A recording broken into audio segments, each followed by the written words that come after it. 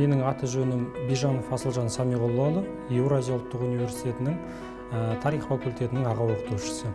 Бүгінгі біздегі тақырып кеңес үкіметінің коренизация саясаты.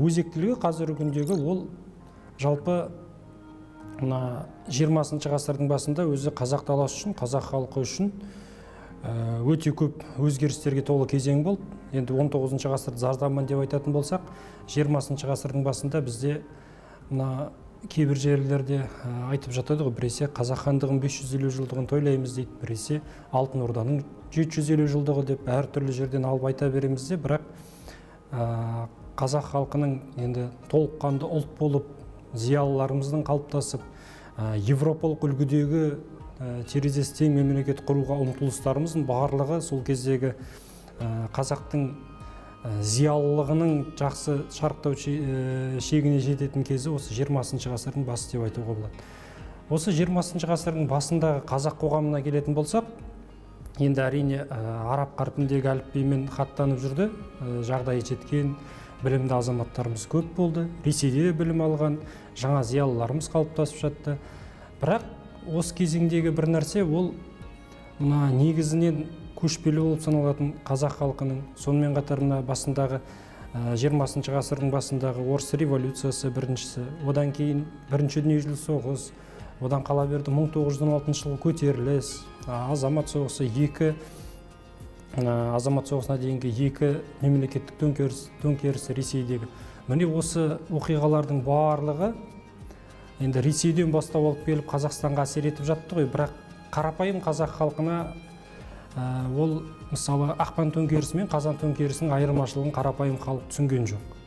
Ол қайсысы болса да ол екеуі де орыс сияқты болып көрінді де. Міне осы ретте келген кезде жаңағы коренизация деген саясаттың түбі түпкі мәні ол кеңес үкіметінің мына өзі әлем бойынша әлемді контекст алып қарайтын болсақ сол кезде европа елдерінде мына 19 ғасырдың ортасынан бастап коммунистік партия манифестінен маркстің европа елдерінде жұмысшы тобының құқығын қорғау жұмысшылардың мына ірі буржуазия өкілдері алдындағы құқықтарының көбеюі деген мәселе көтеріліп жатты да сөйтіп барлық елде коммунистік ұйымдар мына кәсіподақ ұйымдары пайда болып жатты.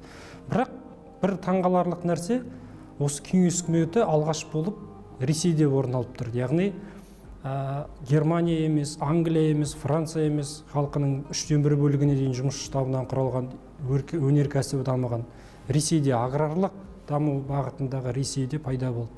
Бұл жерде әрине көп адамдарда сұрақ туындайды. Неге осынша қолдаушылар аз болса да кеңес үкіметі қалай билікке келді қалай азамат соғысында жеңіске жетті деген сұрақ туындайды. Міне оның жауабы енді мен екі ақ себебін айтуға болады. Біріншісі мына әлеуметтік таптық теңсіздікті жою немесе байдың мал мүлкін тәркілеп жерін тәркілеп орта тап кедейлерге бөліп беру деп. Ал екінші жағы ресейдің құрамындағы көптеген халықтардың енді сол кезде төмен санады ғой аз ұлттардың барлығына көп бөлігіне дерлік автономия яғни былайша айтқанда мемлекеттік құрылымдарын құруға рұқсат беру деген бағыт болды. Яғни халықтардың теңдігі және әлеуметтік таптың теңдігі деген екі бағыт.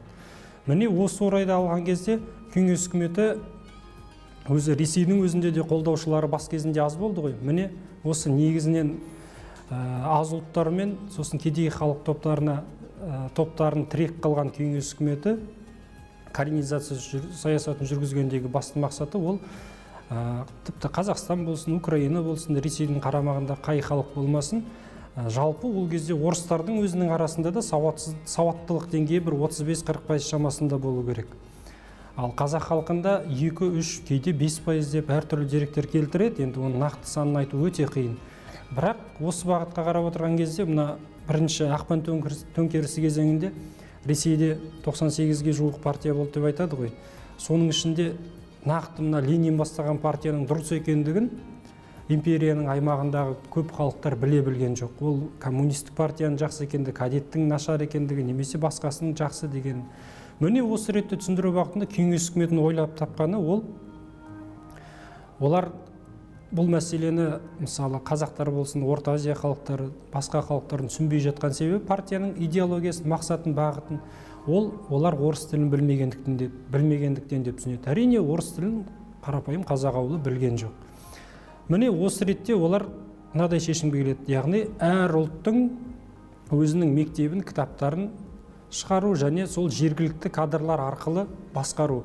Яғни кеңес үкіметі бастап кезде орнаған кезде негізінен ресейдің орталық аймағынан келген енді кіші әртүрлі деңгейдегі шенеуніктер басқарған болса қызметкерлер енді сол жер, ретте жергілікті кадрлардың жергілікті мамандардың үлесін арттыру керек болды. Міне осы бағытта жаңағы коренизация саясатын жүргізді. Енді оны ғылыми бағытынан емес қарапайымдылықпен түсіндіретін болсақ қарапайым тілмен.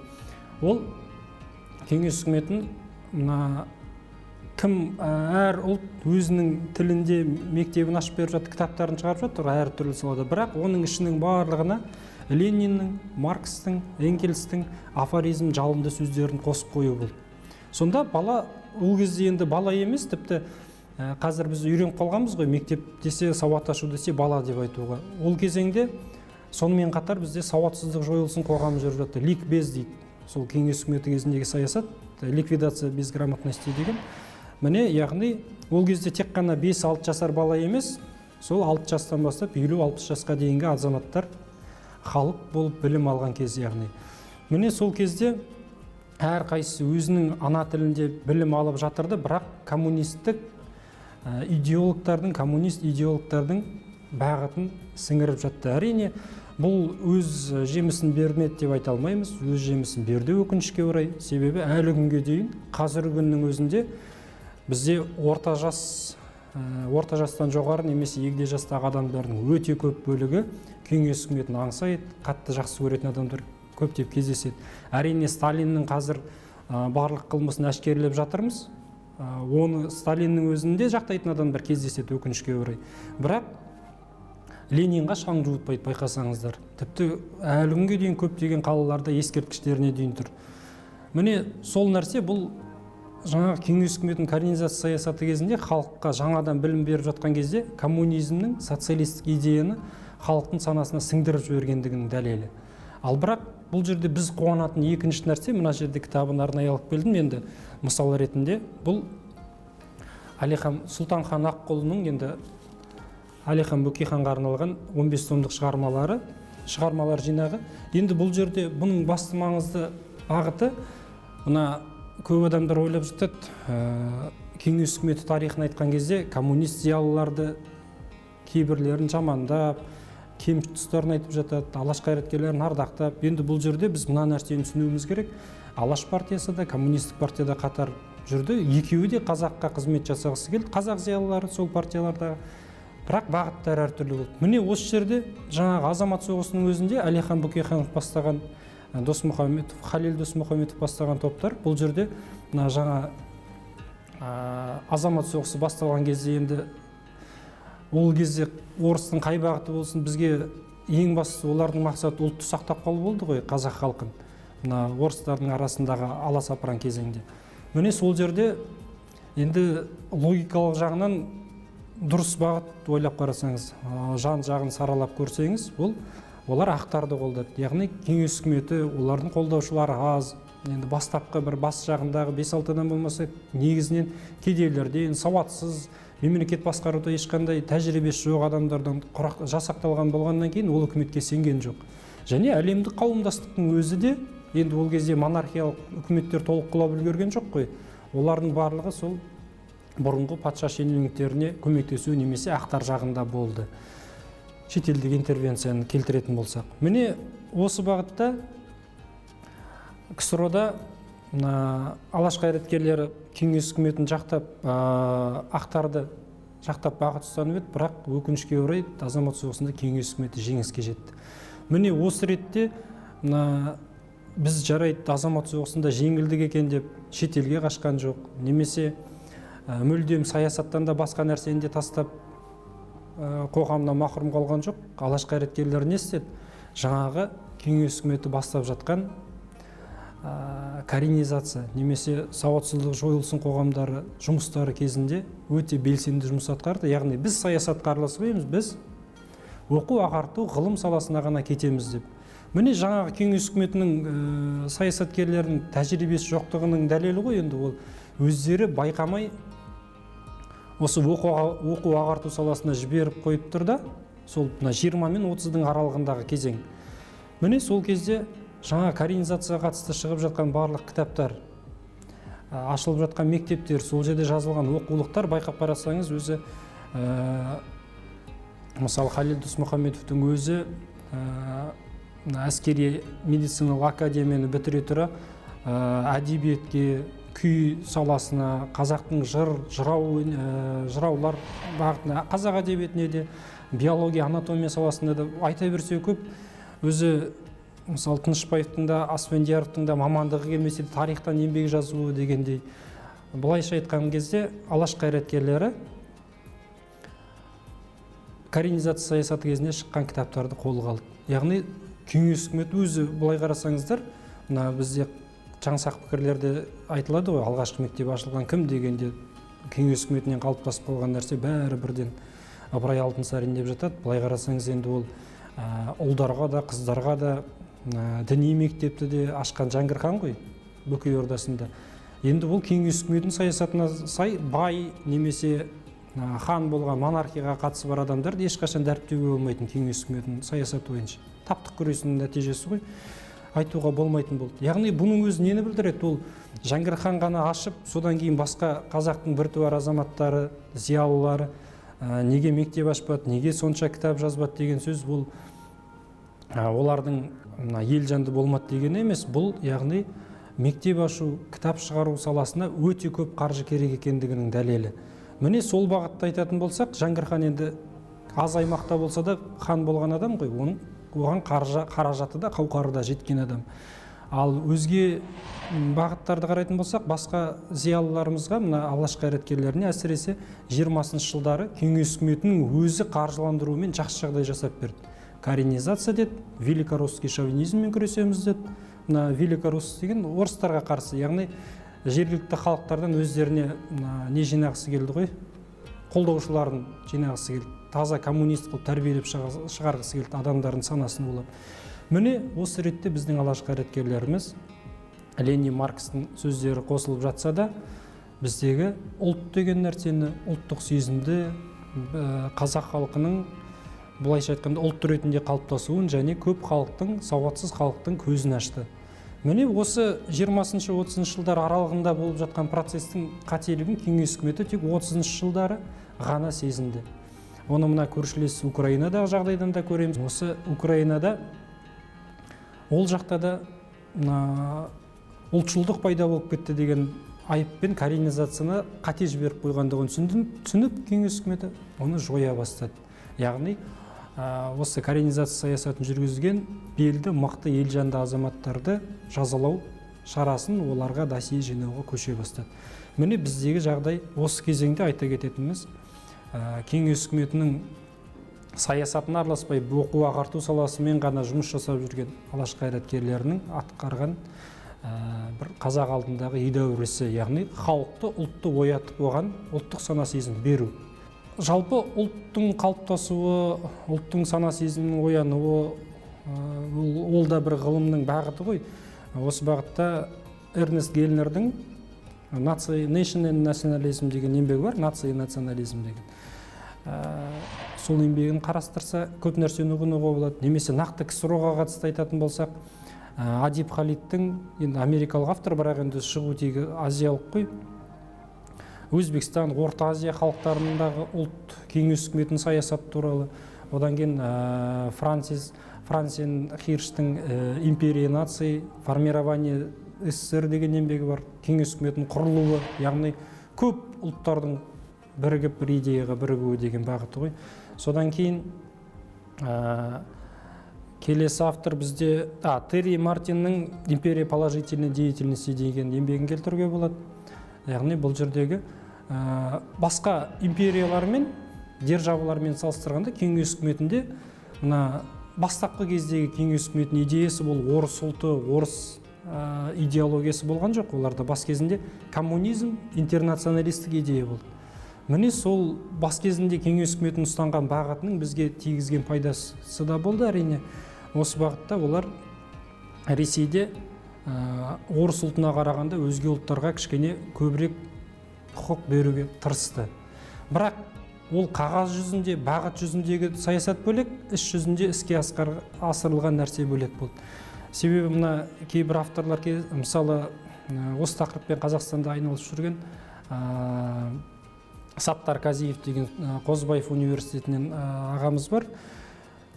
Көп айналысып жүр осы тақырыппен. Енді бұл жерде айтылатын мәселе кеңес үкіметінің коренизация саясаты орыс халқының құқығын шектеп өзге ұлттардың құқығын дәріптеді көтерді дегенмен бұл жердегі кеңес үкіметінің мақсаты біреу ғана ол басқа ұлттарға жаны ашығандық емес әрине. Тек өзінің идеясы интернационалистік коммунизм идеясын алға тарту ғана болды. Оны мына қосымша тағы параллель келтіретін болсақ мұстафа шоқайдың кеңестер билігіндегі түркістан еңбегі бар ғой. Жиырма сегіз жиырма тоғызыншы жылы шыққан. Кейін 33 34 жылдары орыс тіліне аударылады. Ал оған дейін негізгі бірінші нұсқасы ол француз тілінде шығады. Міне осы жердің өзінде менде кейде көбіне студенттер қойып жатады ағай неге француз тілінде шыққан ол кітап деп. Ол бізге арналған кітап емес пе деп. Міне осы бағыттың өзінде әлемдік контекст түсінуге болады. Әлемде не болып жатыр деген сөз. Яғни 1927 жылы кеңес үкіметі әлемге жар салып ә, яғни коммунистердің 10 жылдық билігінің қазан төңкерісінің 10 жылдығын тойлады. Әлемнен коммунистік партияның делегаттары көптеп келіп қатысады. Ә, сол ретте францияның делегаттары барады. Одан мына францияның мароккосынан сирия жеріндегі отар болып саналатын ә, франция отарларының да өкіл коммунистері келеді. Сол кезде француз үкіметі мына францияның коммунистері сұрайды кеңес үкіметінен сіздер отар елдерге қандай саясат жүргізіп жатсыздар? деп. Сол кезде енді тез арада мына орынбор ташкент темір жолымен орта азияға алып келіп қазақстанда өзі қызылордаға бір шамалы екі үш сағат тоқтайды. Ар жағында өзбекстанға барып кеңес үкіметінің саясатын көрсетеді. Біз отар елдермен тең дәрежеде жұмыс жасап жатырмыз деген нәрсені дәріптеу ғой мақсаты. Бірақ енді бұл жерде қарап отырсаңыз қалыптасып қалған нәрсе сол қазіргіде бізде бар нәрсе кеңес үкіметінен бастау алған ғой көп нәрсе. Ол әрине сырттан қонақ келген кезде бәрін жалтыратып әдемілеп керемет қылып дайындап қояды. Содан кейін жаңағы ол сол жағы бар біріншіден екінші жағы ол француз коммунистері де франциядағы үкіметтен дәмелі болды ғой. Яғни сайлауда жеңіске жетуге міне сол ретте францияның осы форумға қатысқан он жылдыққа қатысқан өкілдері ә, жаңағы көптеген сол кезеңнің ә, журналдарына газеттеріне жаза бастайды. Міне коммунистер ресейде он жыл бойы осындай билік жасады осындай дәрежеге жеткен. Енді шынында индустриализацияның ауқымына қарасаңыздар өте көп зауыт фабрика деген нәрсені ашты мойындау керек жер су реформаларын жүргізді. Бірақ енді осы француз коммунистердің тек жақсы жағын ғана жазған жағы ғой және кейбір жерінде астра сілтеушілікпен жазып жатыр. Францияның халқын коммунистікке тарту үшін коммунистік идеяға. Міне осы кезде мұстафа шоқай енді алғашқы нұсқасын француз тілінде шығартады деп айтуға болады енді шығартады деп. Міне яғни кеңес үкіметін әшкерелеп көрсетеді. Міне мұстафа шоқай бұл ә, кеңес үкіметінде жүріп үкіметтен қорқып ә, жүйеден қорқып жазған ә, мақалалар олай жазылған жоқ ол сыртта жүргеннен кейін еркін оймен шынтуайтында түркістан аймағында не болып жатыр соны кітапқа басып жазып береді. Кеңестер билігіндегі түркістан жіп жіңішке ғана кітап оқып алсаңыздар болады. Міне ал одан кейін ғана оның орысша нұсқасы шығады. Міне осы мысалдың өзінен көруге болады. Жалпы коммунистердің ксро ның идеясы ол бас кезінде халықты орыстандыру емес. Жалпы коммунистердің биліктерінің ә, коммунистік партиялардың бүкіл әлем елдерінде билікке келуі болды мақсаты. Оны кейін екінші дүниежүзілік соғыстан кейін әлемнің екі полярлық бағытқа бөлінуінен де көруге болады. Социалистік капиталистік. Бірақ нәтижесін өздеріңіз қазір көріп отырсыздар. Сол ксро ның заңды мұрагері болып саналатын ресейдің өзі де капиталистік бағытқа көшіп кетті. Енді кеңес үкіметінің осы ә, коренизация саясатын жүргізудегі басты мақсаты қорыта айтатын болсақ бұл жерде мына өзі ә, біз жобада 20-21 жылға ә, ашаршылыққа байланысты жұмыс жасағанбыз. Сол кезде ә, мынадай құжат бар. Мысалы семей облысына коммунистік партияның өкілі келіп тексеріс жүргізіледі ғой енді мемлекет мемлекет болғаннан кейін. Сол кезде мынадай нәрсені айтады.